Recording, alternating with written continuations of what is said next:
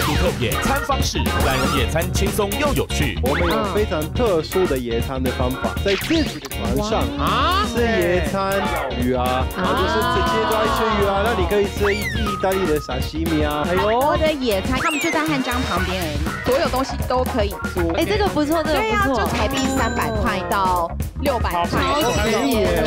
千万不要忘记哦，今天晚上八点，东森综合三十二频道二分之一强。